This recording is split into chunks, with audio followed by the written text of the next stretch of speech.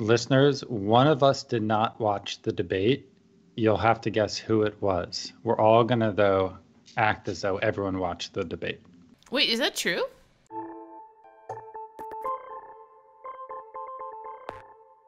Hello and welcome to this late night debate reaction edition of the 538 Politics podcast. I'm Galen Druke.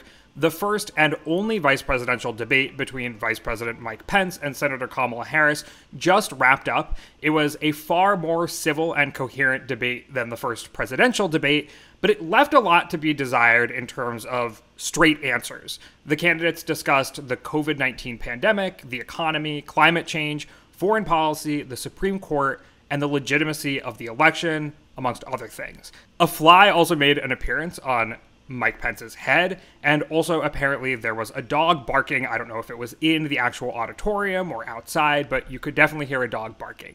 Anyway, here with me to break it all down, our editor in chief, Nate Silver. Hey, Nate. Hey, Galen. Also here with us is senior politics writer Claire Malone. Hey, Claire. Hey, Galen. And managing editor Micah Cohen. How's it going? Hi, Galen. Hi, everybody. Nate, you welcomed Galen like you weren't sure it was actually him. Like, hey, Well, he wasn't sure if I had watched the debate. In virtual times like these, how do we know one they're real? I haven't That's- seen that's any of I- you in person in six months. Well, you can come over. Maybe yeah, I just checked in recently to make sure Claire was real. Claire is still real, as is Tony. I'm not sure if Micah and Nate are real, though. We can hang out, socially distant. All right, well, let's get to the actual debate, Nate, and let's start with you. It was a very different debate from the first presidential debate. What'd you make of it?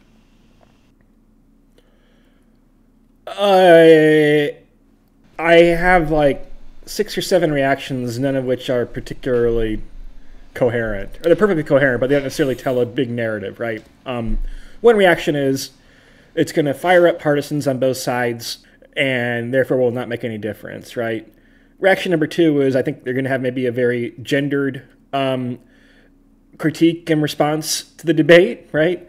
Response number three is, hey, actually, the only thing that mattered was Mike Pence again kind of refusing to commit to the results of the election, or at least obfuscating. Answer number four is like, the theme of the debate was obfuscation, a little bit more from Pence than from Harris, but like there was not a lot of follow up or follow through. Um, reaction number five is all people will remember um, is uh, the fly on Mike Pence's beautiful white head of hair for two full minutes. And reaction number six is um, kind of answer number one B, right? Debate won't matter unless somebody had COVID at the debate. You probably should not have had this debate. Mike Pence should probably have been quarantining. He had close contact with a lot of people who have COVID less than 14 days ago. Um, so that's the way in which debate could definitely matter. All right, like well, you pair- actually had six responses. I, I thought you that was a hyperbole, but uh, Claire, what No, did you make? I of it? used up was all the hot was takes. one of those six more more relevant than the others. It was like a parable of uh it was like the other half of a parable about debates. Like if the first if the presidential debate was um loud and noisy and as a viewer you knew you weren't getting any straight answers, this one was characterized by polite, sophisticated, you're not getting any answers, which I actually think is the more pernicious kind of debate. And I was um I found myself being sort of quietly enthu- infuriated throughout the um, hour and a half by the lack of follow up by Susan Page, who was the moderator. Obviously, being a moderator, you know, like being a bridesmaid is a thankless job, and I'm sure you probably feel compelled to do it if asked. Um, but it was just like really infuriating, particularly, I have to say, um, the penultimate question where Page asked Pence, you know, will you uh, make sure that there is, if you know, if you lose, that there is a peaceful transfer of power, that the president accepts the election results. And Mike Pence flat out didn't answer the question at all. And then Susan Page moved on to a question from an eighth grader. Listen, I appreciate civics as much as the nef- next person, but I don't give a shit what the eighth grader's question is. I want to know what Mike P- Pence's answer to that question was. And I thought it was a true failure. And I'm, I'm kind of, um, uh, you know, my blood is a little bit boiling about it. I just, I just, um, and I and I feel like people are lulled by the sense of calm and oh these are two adults debating and isn't it nice they were nice to each other? You didn't get any information out of them particularly pence. And Pence also didn't answer the question about um, what if the president becomes disabled, which seems Well, like neither a did pertinent Harris, to be clear. Okay, but one one of them has a one of them has a president is the vice president right now, with a president who I mean again, let's just kind of look at statistical likelihoods, right? The indications are the president has at least moderate, if not severe COVID, based on the drugs that are prescribed people with moderate to severe COVID. I listened to your all's episode on Monday with Dr. Spencer. Um, you know, uh, someone being prescribed those medications and with se- severe COVID can have a some risk of um, having to be put on a ventilator, some risk of dying, can also have brain fog and other complications, right? I, is the president behaving entirely normally? It's hard to say. For most presidents, we'd say no. Okay, Um, I totally so, understand yeah. that, Nate. But also, given that they're both septuagenarians, Biden would be the oldest candidate to ever take office if he were to be inaugurated in January at 78 years old. It just seems like a question that both of the parties should have answered. Um, but Michael, let's get you in here. Yeah, it was it was a reminder, I think, as Claire said, that like normal politics, quote unquote, pre-Trump normal politics, quote unquote, is like, and has always been, not has always been, is a very very empty, uh, you know, activity. Um, you know, Trump does a lot of unusual things, which which draw attention to how meaningless most of what happens in the political world is. Um, but it's still meaningless even if Trump isn't doing those those really crazy things. I thought it's a a- again like let's put aside. What do for you a mean by meaningless or empty? I mean, almost everything that both candidates said um, pablum was pablum was was rehearsed you know is there there there are big truths behind it all which is to say genuinely both parties have very very very different approaches to to government and to public policy. Um, so that's a big truth right? But that doesn't change day to day. And day to day we have all these things including debates that that are just like noise. Um, and as claire was saying tonight we got the the like low level noise um, the more normal noise but it's still just noise and it's it's we didn't get any any sort of newsworthy answers to any any questions and i don't think we'll get any in the other debates. Anything that makes news will more likely be some gaffe or some some break of a of a norm right? It's it's these things are are not full of meaning. They're just not or value you know? Like literally what's trending what's trending on my twitter column right now is trump campaign says it's saving a vp debate ticket for tupac the fly and like pink eye for pence. Those are the things that are trending. And i and i and it's not i mean it's funny but it's not funny. But it- it's like it- it's it's it's it's revelatory of just like the true what well uh, don't get me too deep. But like this is this is like um it, it was pretty maddening. And there there were parts of it that i think they obviously got into um some substantive discussions. And there were some things that i wish had been like an actual interesting debate. Um there there are some things that i think harris didn't answer that people probably want to know more on.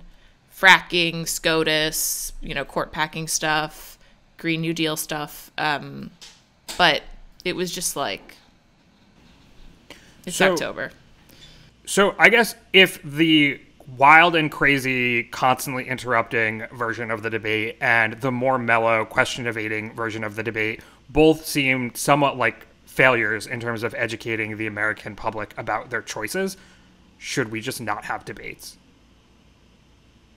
Is there a way to do this in a constructive way?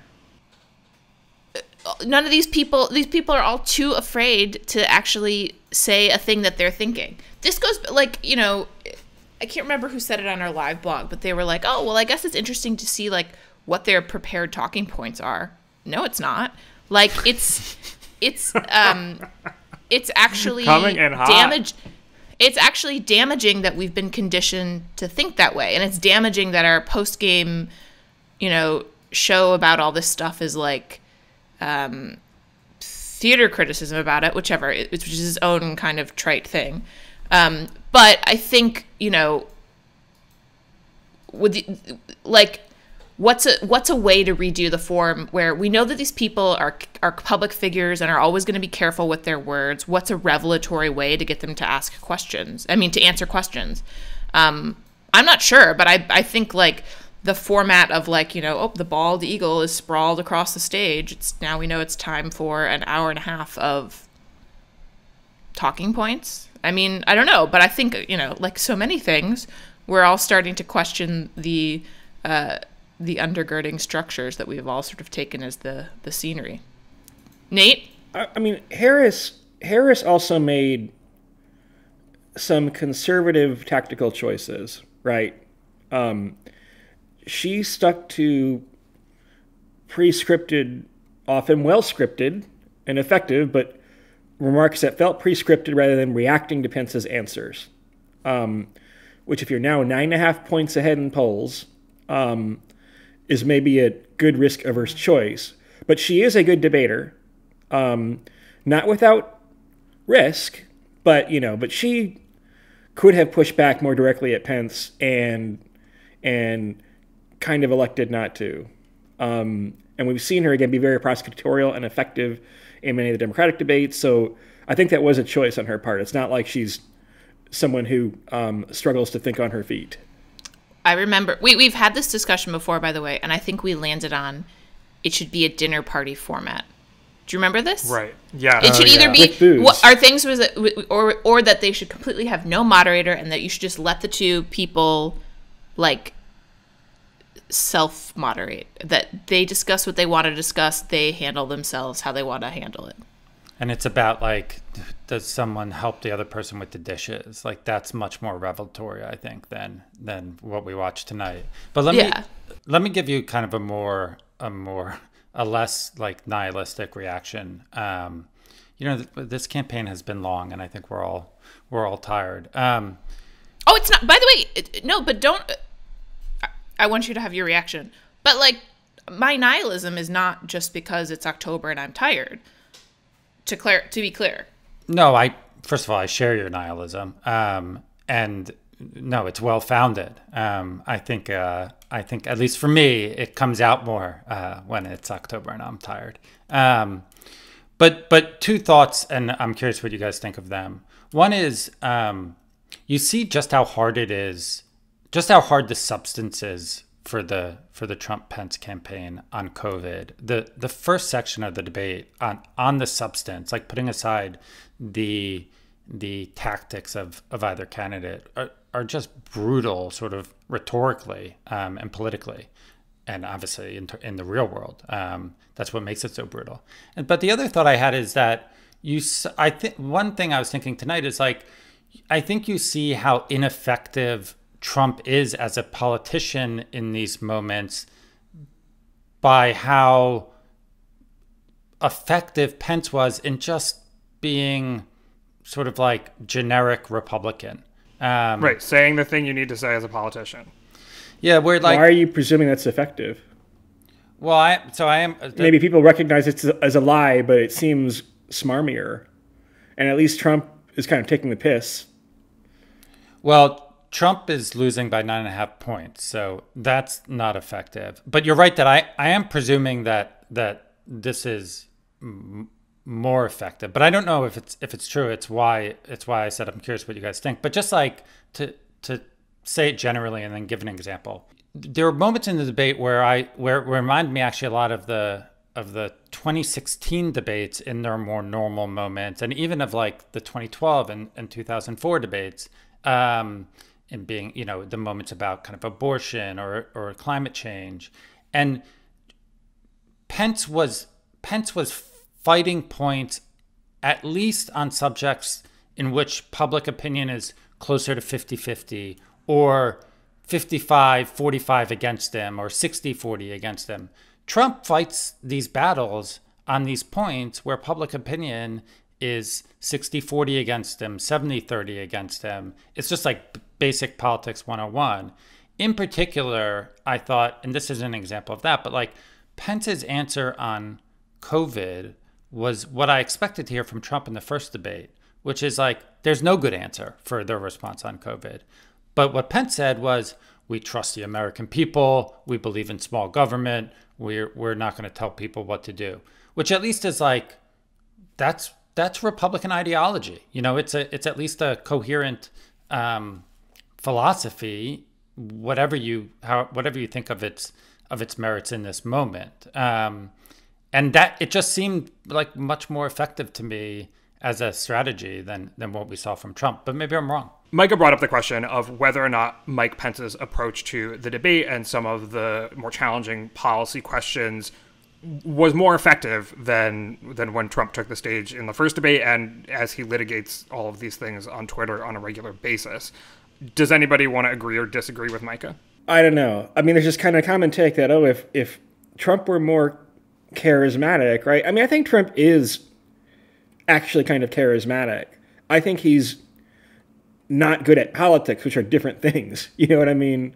I think Trump makes lots of bad tactical and strategic choices I think he um, creates problems for himself all the time, right? Um, and he's not like classically eloquent, right? But he has a certain shtick that works, right? Um, Don't we all? And his delivery yeah. in front of a crowd isn't bad. It's sometimes pretty effective. But um, it's exactly his the way he conducts himself personally that pulls so badly when you break it down for Americans, right? It's precisely that reason that his favorability numbers are significantly lower than his approval ratings, or on personal characteristics like honesty or leadership, he pulls so much worse than things like the economy, for example, right? I mean, if you could boost those characteristics, but we're not talking about favorability. Galen, Galen, we're not talking about personal characteristics. We're talking about how they come across, right? People their love an anti-hero, as HBO has told us.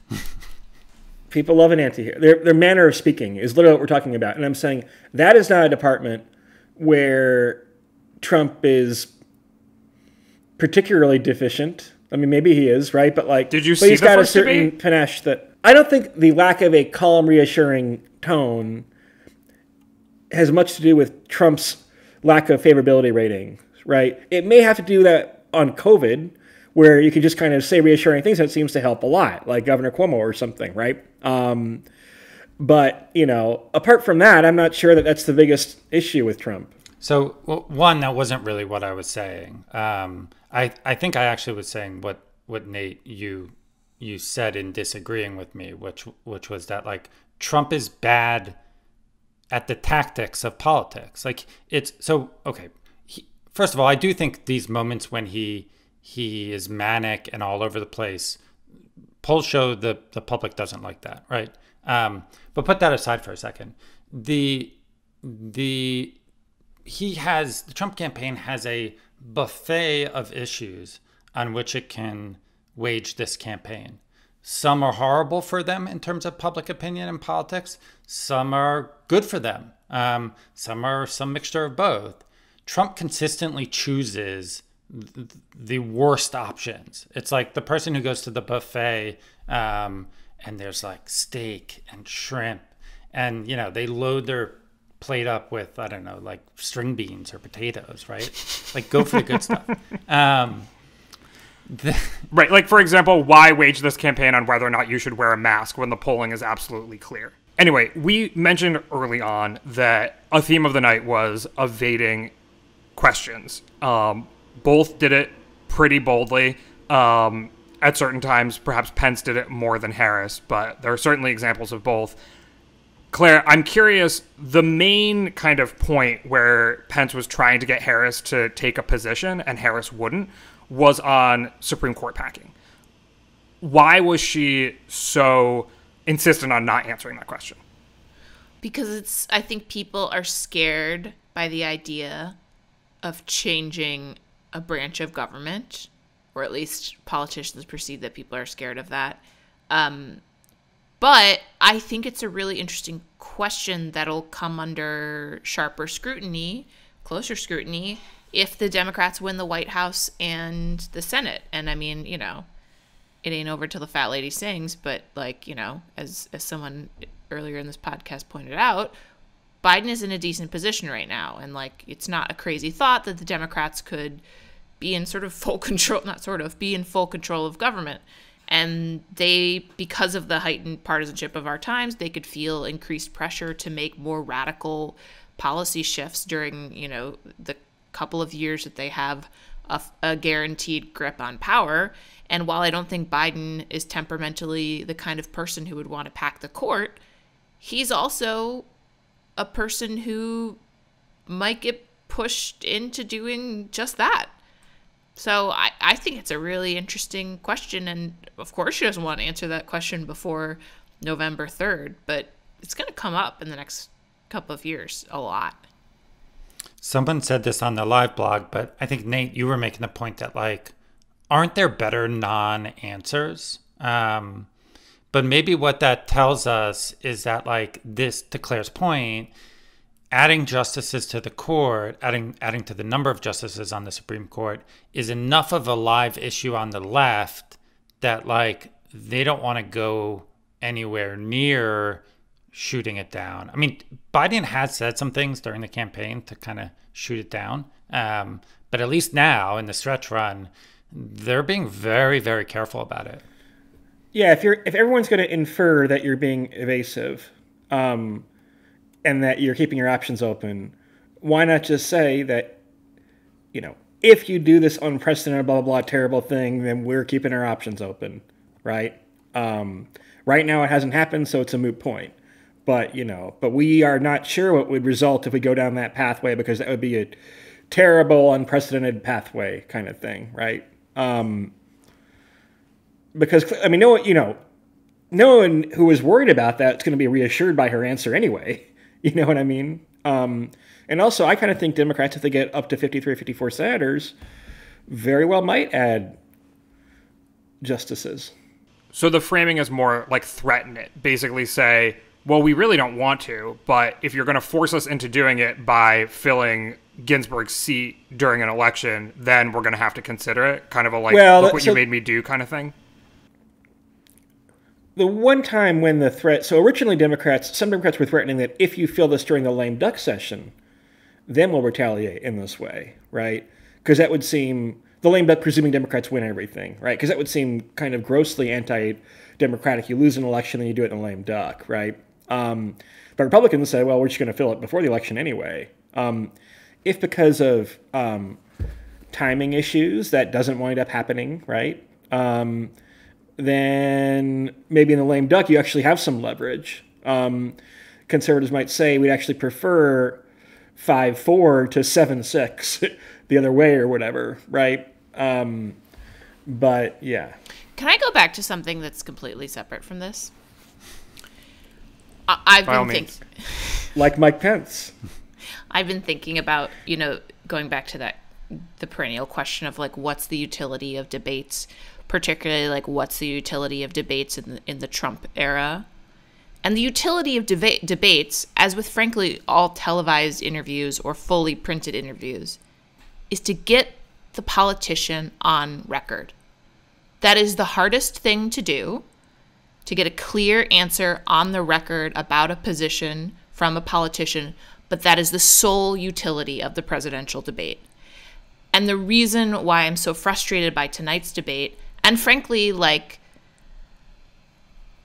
I, I'm just frustrated that there is a complete inability to get anyone on the record about this stuff, particularly Trump and Pence, and that there seems to be, you know, big things happen and then three weeks later we forget about them. You know, like uh, that is the sole utility of these debates. Well, but and if that's true, and I I think that's right, then then there really shouldn't be debates, right? Because like generally speaking, uh, a journalist is going to be a much more effective tool for getting that than the other candidate, right? Generally speaking, I think that's true. So then it should be like 90 minutes, two hours, a live interview, and and the reporter can follow up as much as they want. They could do the whole 90 minutes just trying to nail Pence down on whether he would you know, accept the election result, right? And then another 90 minutes for for Harris. I mean,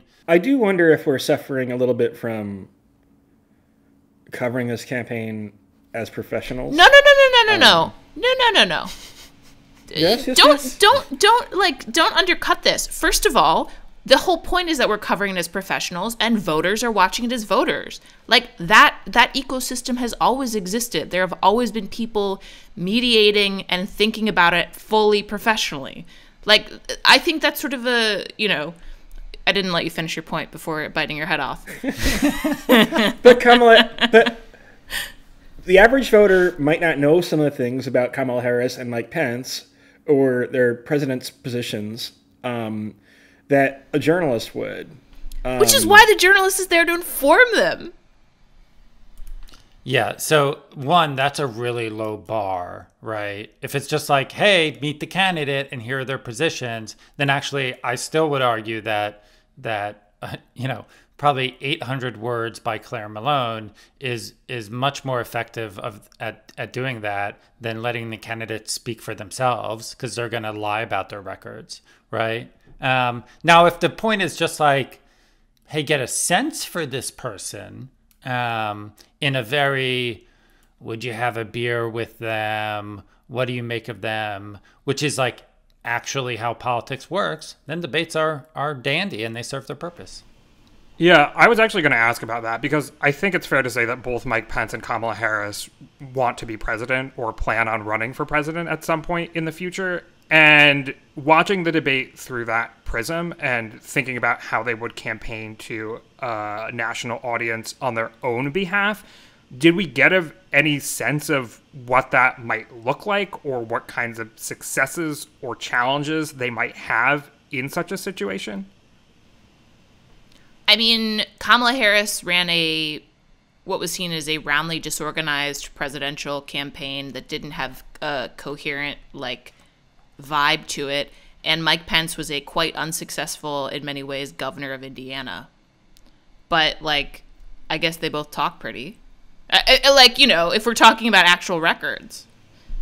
Yeah. Yeah, or even the records as as like in these moments uh, in debates. Harris had a very good moment in a debate. She also had some not so great moments. I think overall, I mean, this is hugely subjective, but also like bared out somewhat. I think in the in the post debate polls we did, Harris has an uneven record in in these debates. Pence, uh, what like he's a reliable B minus, right? Um, but but it's if I mean, he if- was pretty good at projecting calm, if that was his goal. I think he benefits somewhat from from the comparison with Trump, but sure, let's yeah, give him let's give him a B. expectations. Um, but I think to your point, Galen, if I think it's, I think if these are the front runners for the 2024 nominations, um, they're they're not very strong front runners. I mean, I don't think Kamala Harris and Joe Biden are that different in certain ways. They're both very calibrating, right? They're both very good at um, at understanding what the right balance point is relative to the different constituencies pulling and hugging on them, and they're kind of somewhat explicit about that. Nate, your point about about Biden and and Harris being similar, just in the way they approach politics, I th- I think is right and is and is interesting, and maybe helps explain why why Biden picked Harris. Th- They're also they're also similar in that they they both do have kind of uneven political skills. Um, they're really good at some things, not good at others. But I think they are very very similar, kind of on both fronts, how they approach policy and the politics of it. Well, you gotta love the way political coverage works because we just entered the first uh, moments of our 2024 coverage. So, uh, th- thanks for that. Uh, we got three and a half weeks left in, or basically four weeks left in the current election, but already chomping at the bit. Micah, how shortly after the 2020 election do you think we'll write our first 2024 piece? Haven't we already written our first 2024 piece? Uh, we probably think we've have. You're right. Yeah. I mean, Okay, so to the- end things, So to end things here, does anybody want to reveal who was the person who didn't actually watch the debate? No, no, no. Listeners and viewers have to guess. Don't reveal it. All right, listeners, let us know. Who do you think did not watch tonight's debate? Uh, you can tweet us. This this email is us. wait. This is nonsensical. Okay, let's. pro- I protest. yeah, we should reveal. We all watched it. Okay, and here's really our final final question: Is there going to be a debate next week? My theory is that if it has a plan at all, which probably is doubtful, then the White House's plan might be to try to bluff Joe Biden into canceling the debate because I don't think you want President to debate for purely strategic reasons. Never mind the public health risk of giving Joe Biden and other people at the debate coronavirus. Um, I don't know that you want kind of Trump debating anybody um, when he hasn't had any kind of live video on him um, for a week now, right? That seems extremely risky. Um, between the chance that two weeks after COVID diagnosis, maybe he's had it for a bit longer, that you either have some physical or mental problems that would be very evident in a two hour long, amazingly stressful moment, right? So I think Trump is trying to bluff the commission or Biden into canceling. Um, Listeners, Nate plays poker. So it's like insist on a debate that can't possibly be safe for Biden, so they have to cancel. I mean, I think, I mean, look, we don't have a good script for how to talk about some of this stuff. I mean, traditionally, you know, you don't like to speculate on the on the health of the president or the candidates, right? Um, but like again, just statistical baselines, right? If you have serious COVID, then you may not be fully yourself, right? Um, how much evidence does the president exhibit of that? I don't know. People can watch videos and look at the tweet storms and decide for themselves, right? But like, but these are if we are used to talking about probabilities and stuff like that, then like these are not one percent probabilities that Trump is on these steroids and therefore is having manic effects from it. That baseline probability is a common symptom, right? Um, so I don't know. We have to talk about things in that context. All right. Well, let's leave things there for this evening. So thank you, Nate. Thank you, Galen. Thank you, Clare. Thanks, Galen. And thank you, Micah. Thank you. And we should also mention that tomorrow, or I guess today when you're listening to this, October 8th, is the last day to order things from the 538 store in order to get them shipped by October 30th, aka in time for the election. So that's at 538.com slash store. My name is Galen Druk. Tony Chow is in the virtual control room. You can get in touch by emailing us at podcast at 538.com. You can also, of course, tweet at us with any questions or comments. If you're a fan of the show, leave us a rating or review in the Apple Podcast Store or tell someone about us. Also, make sure to subscribe to us on YouTube. Thanks for listening, and we'll see you soon.